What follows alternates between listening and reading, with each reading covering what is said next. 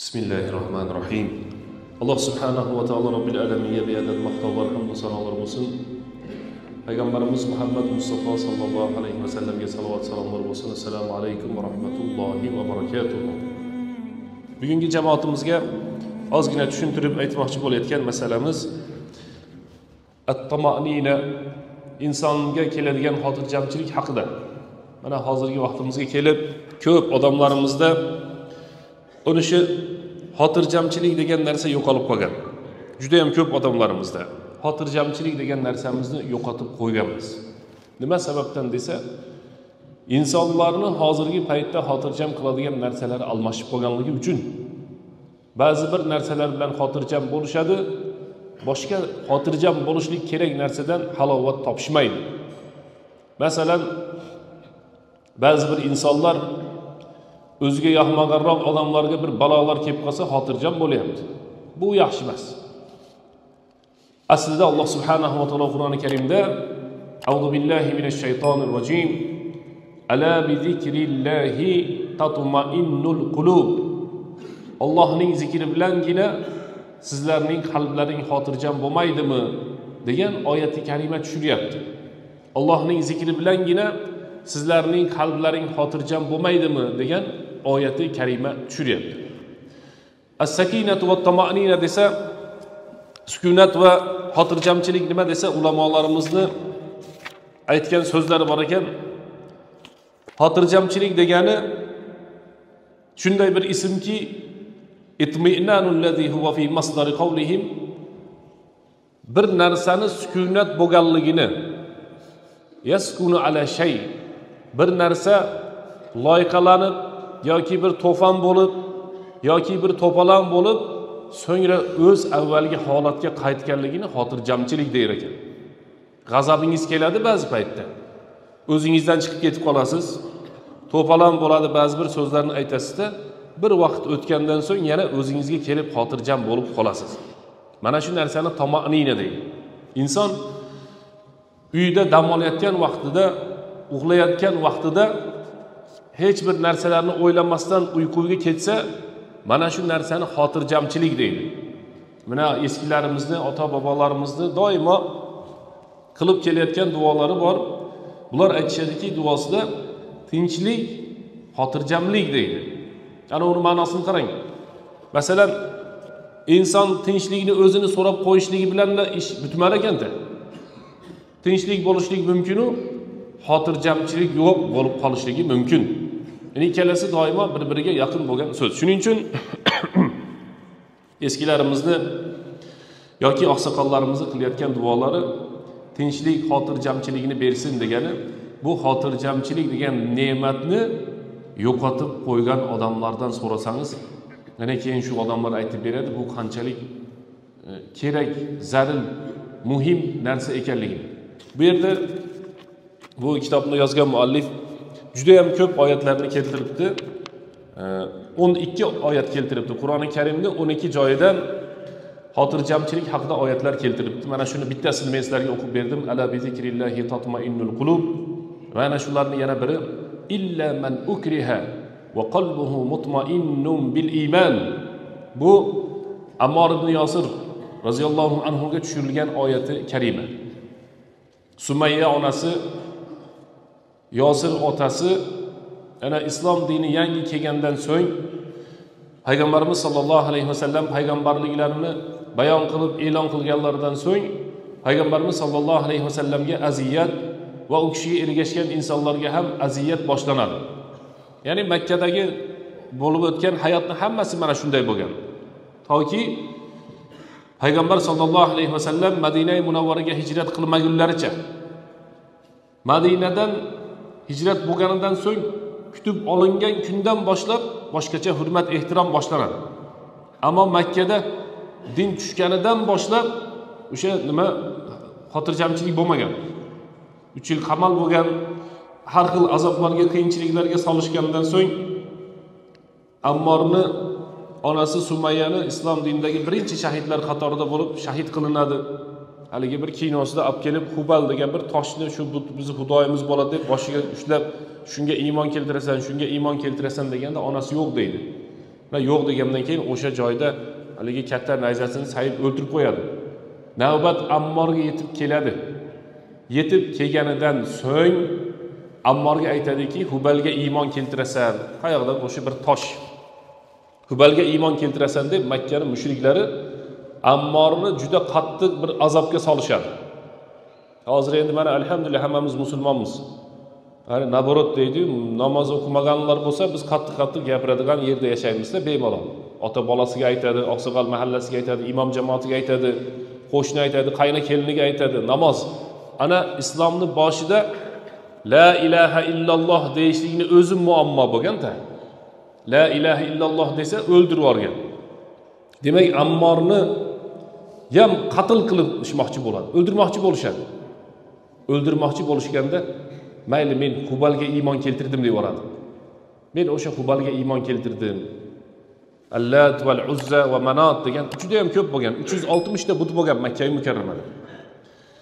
So'ngra ammor yig'lab payg'ambarimiz sollallohu alayhi vasallamni huzurlariga boradilar.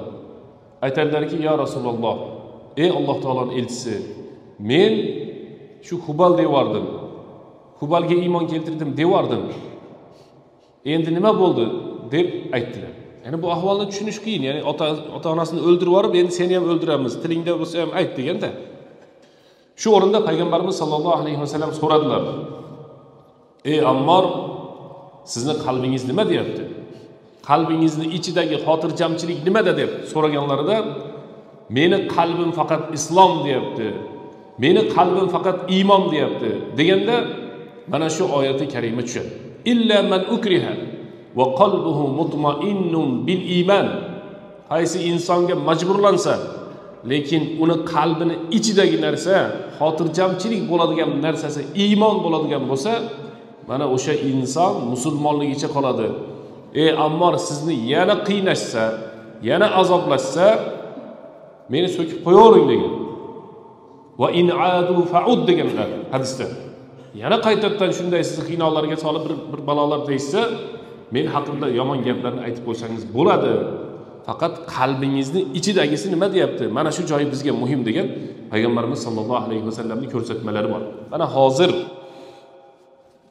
jamoatimizda insonlarimizni ichida namoz o'qigan vaqtimizda qalbimizga xotirjamchilik keladimi yoki ashula eshitgan paytingizdamidi futbol ko'rgan paytingizdamidi serial ko'rgan paytingizdamidi anavi yoshlar telefonda o'yin o'ynagan paytidamidi yoki bir narsalar shu bo'lmaydigan narsalarni ko'rgan paytida qalbiga xotirjamchilik keladimi? Mana shu savolni hammamiz o'zimizga berishimiz kerak. Qur'on o'qisa mazza qilaman yoki qur'on eshitsam mazza qilaman bir zikr qilsam mazza qilaman jamoatga borsam ayniqsa mana ko'p odamlarimiz tushunib yetishdi shu narsani alhamdulillah. Ehson qilsak mazza qilamiz bir so'm besh so'm ehson qilsak qalbimiz bir xotirjam bo'lyapti degan insonni qalbidagi xotirjamchiligi shu taraflardan kelayotgan bo'lsa e, xursand bo'lsin. Mana shu inson xursand bo'lsin. Alloh taolo bu bandasini yaxshilik bilan xotirjam qilib qo'yibdi.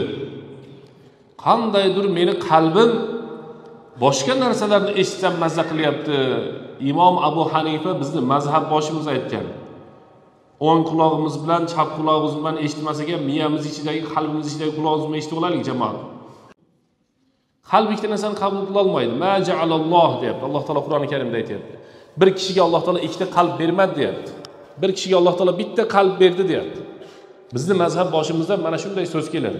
Bo'laveradi aytib qo'yaversin og'irrog'idan deyayotganlarga aytyapmizda qalbi juda maza qilib mana bunday qilib kallalarini qimillatib muzika eshitayotganlar aytaman to'ylardami boshqa yerlardan. Bizni mazhabimizga ko'ra dindan chiqib ketish ehtimoli bor. Boshqasini mazhabini aytmay qo'yaveraylik. Bizni mazhabimizga ko'ra. A qur'on o'qiganda kallangizni qimillatsangiz bo'lmaydimi? Mazza qilib eshitsa bo'lmaydimi qur'onni salovat aytgandamidi duo qilgandamidi?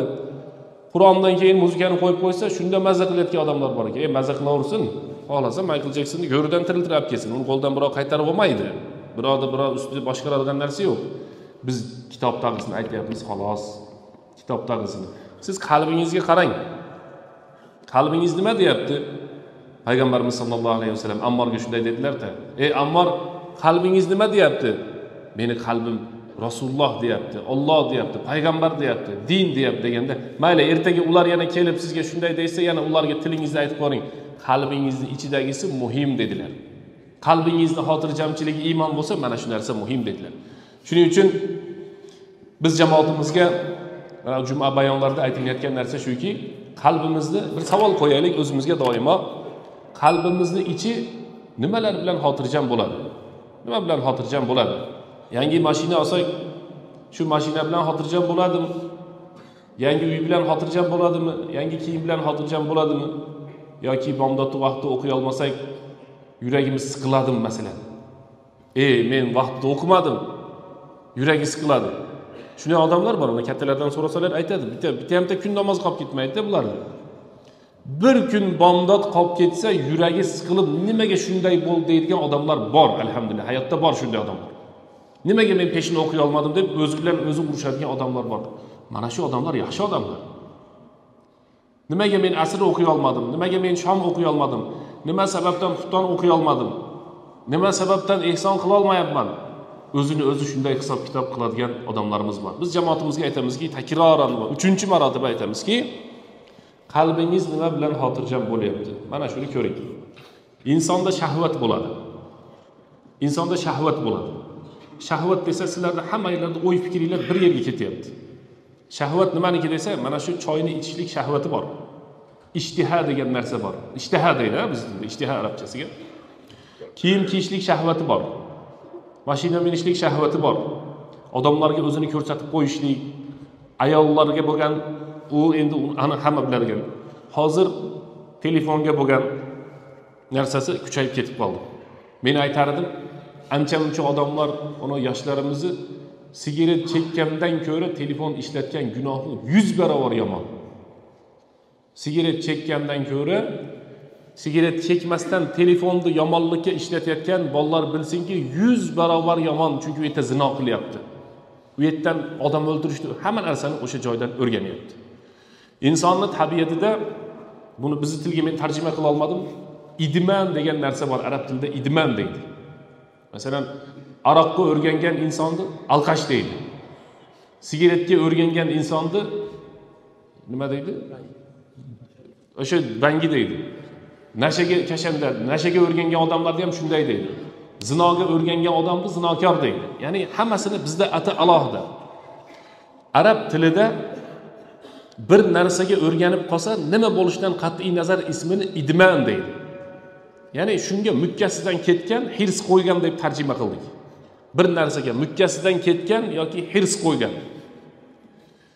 Mana ichgan odam tashlay olmay qiynaladi chekkan odam ham tashlay olmasdan qiynaladi bir marta rostdan harakat qiladi uch marta yolg'ondan harakat qiladi har narsa qilib ko'radi ro'zani kutadi boshqa bo'ladi. Inshaalloh tashlaydi xudo xohlasa tashlayman deb niyat qilyapti. Lekin insonni nafsida shu narsa borki bir narsaga o'rganib qoldimi takror takror takror mana shu narsani qilishni xohlayveradi. Hozirgilarimizni o'rganib qolgani mana shu mana bo'lib qoldi. Mana shu telefonga o'rganib qoldi. Shuni tashlay olmay qoldi. Endi buni otasi ham telefon onasi ham telefon yaqin o'rtada xudosi ham telefon bo'lib qoladi buni. Nimaga? Xotirjamchilikni telefondan topib oldi. Nasha chekayotgan odam xotirjamchilikni nashadan topib oldi. Aroq ichayotgan odam xotirjamchilikni aroqdan topib oldi. Va yana qaysidir ish bilan shug'ullanayotgan inson xotirjamchiligini o'sha narsasidan topib oldi.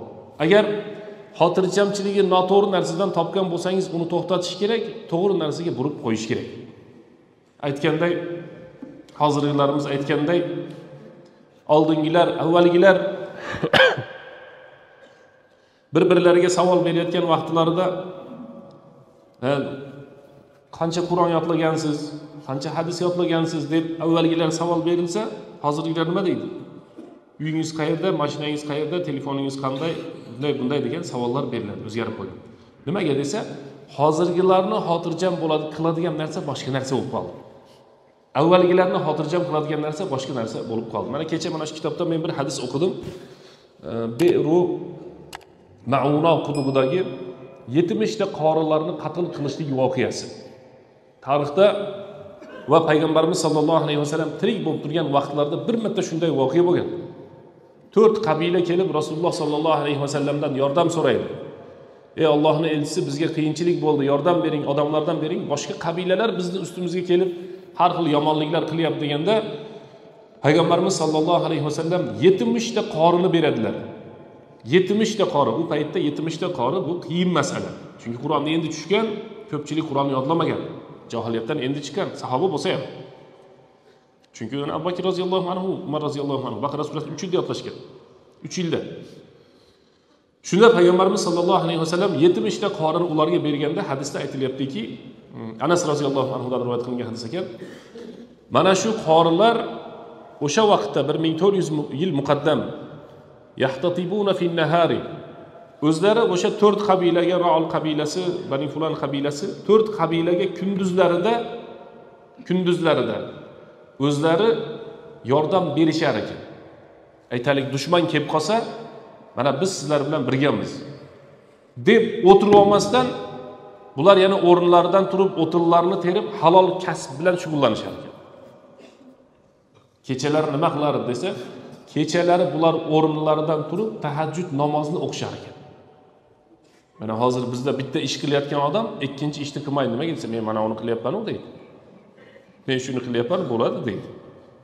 Men seni besh mahal namozini o'qib berganim ham katta gap deyaveradi ba'zi odamlar. Xuddi haligi nima deydi siz bilan menga namoz o'qib berganday domlalarimiz ba'zan biz da'vat qilib masala aytsak qilyapmizu deydi sizni foydangizni aytyapmiz qilmasangiz ham mayli qilsangiz siz, sizga savob bizga aytganimiz uchun.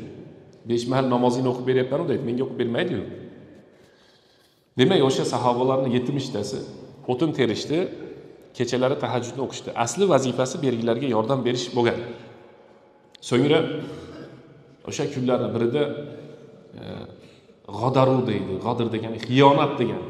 Bu xiyonat kechirilmaydigan narsa hech qachon. Erkakniki ham ayolniki ham kechirilmaydi. Ha do'stniki masalan aka ukaniki mahallaniki xiyonat eng yomon erkakka ham yarashmaydi ayolga ham yarashmaydi musulmon zotiga xiyonat yarashmaydi. Xiyonatgo'y do'stmi kerak yo'q. Umuman aka uka xiyonatga yo'q ayolni umuman endi umuman yo'li yo'q ayol xiyonat qilsa agar alloh saqlasin demak bular asli payg'ambarimiz sollallohu alayhi vasallamni aldab qo'yishgan bo'ladida yetmishta qorini o'zlari o'ldirib yuboradi bir kunda hammasini qilichdan o'tkazib o'ldirib tashlashadi ana o'sha o'rinda mana qunut duosi haqida so'rasanglar nimaga qunut o'qiladi desa tarixlar mana shu joydan keladiki payg'ambarimiz sollallohu alayhi vasallam bomdod namozlarida ba'zan peshinda ba'zan asrda shomda xuftonda qo'llarini ochib duo qilardilar. Ey robbim deb to'rt qabilani ismini o'qib shularni la'natlab duo qilganlar. Shahrom kamilan deb bir oy to'liq duo qilganlar. Bir oy. Nima sababdan? Olloh taoloni yaqinlari bo'lgan qorilarni o'ldirdi.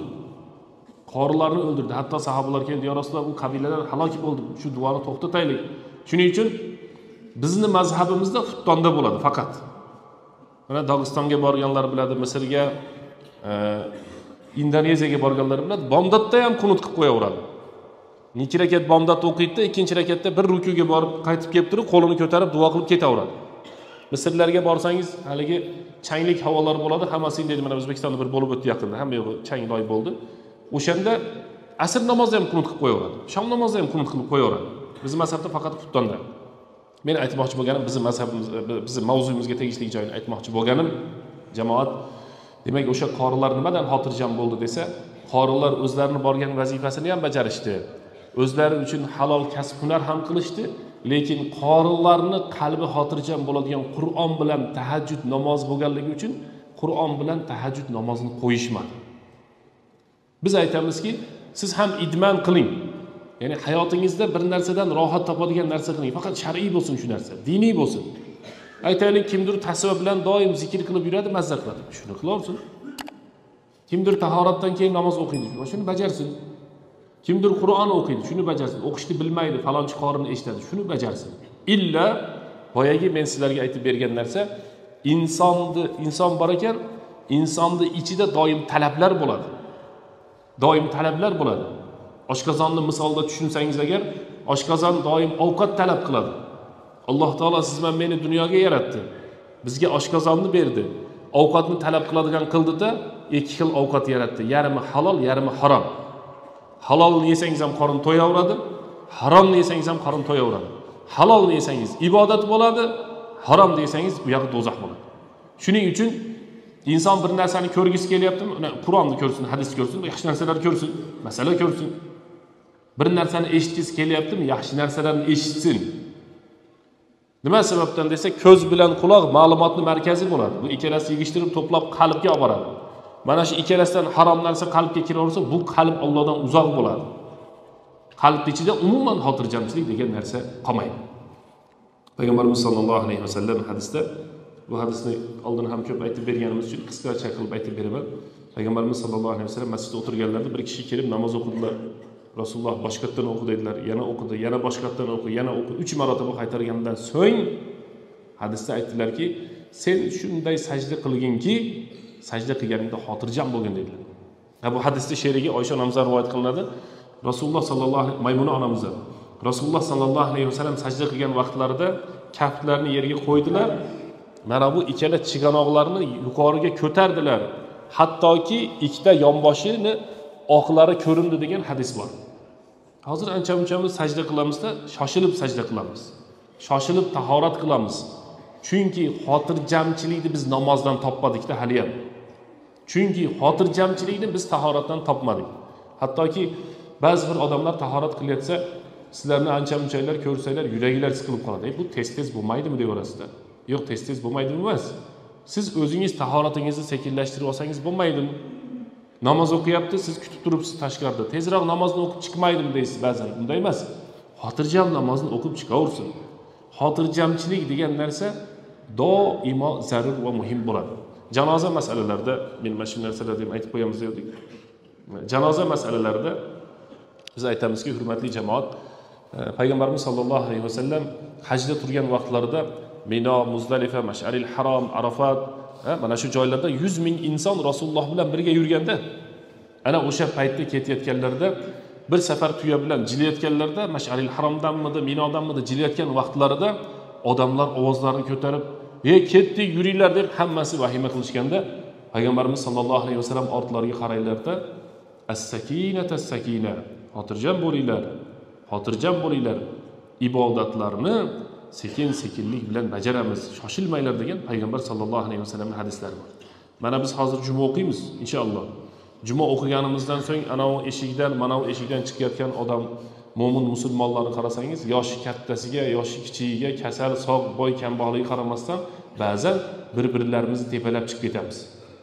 To'ylarda ehsonlarda ham shunday qilamiz. Ayniqsa janozalarda qabristonga borganda vahima qilamiz. O'ligini olib chiqayotganda ko'p kuzatiladi. Imom turadi oqsoqol turadi kattasi turadiyu o'lik chiqayotganda hamma gapirishni boshlaydi. Shu odatlarni sekin sekin yo'qotaylik hurmatli jamoa. Ey anbarni ko'taring tushiring u yog'idan torting bu yog'idan torting. Ustingizda bitta o'lik turibdi. Bir kishi gapirsin qolganlar quloq solsin bizda nima yetishmaydi desa bizda xotirjamchilik yetishmaydi. U o'likni besh minut keyinroq olib borsa ham bo'laveradi. Mana bu masjiddan yugurib qochib hajar bo'lgan joydan qochganga o'xshamasdan alloh taoloni uyidan sekinroq chiqsa ham bo'laveradi. Ammo bizda nima yo'q desa bizda xotirjamchilik yo'q. Bizda xotirjamchilik yo'q. U bor. Bu hali aytib bo'lmaydigan narsalarga xotirjamchiligimiz ketib qoladi. Alloh subhanahu va taolo har birlarimizga tavfiq hidoyat bersin. Subhana robbika robbil izzati amma yasifun va salamun alal mursalin. Alhamdulillahi robbil